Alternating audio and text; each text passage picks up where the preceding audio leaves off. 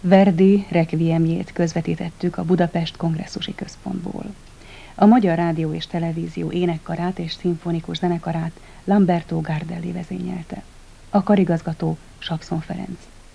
Szólisták voltak. Kincses Veronika, Hamari Júlia, Daróci Tamás és Polgár László.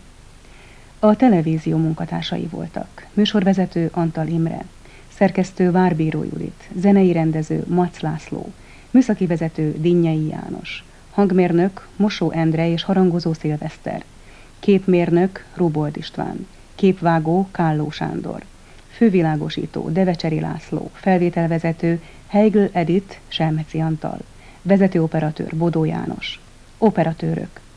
Pintér Endre, Túri Tibor, Nyerges Tamás, Szíj Károly és Bauer Éva.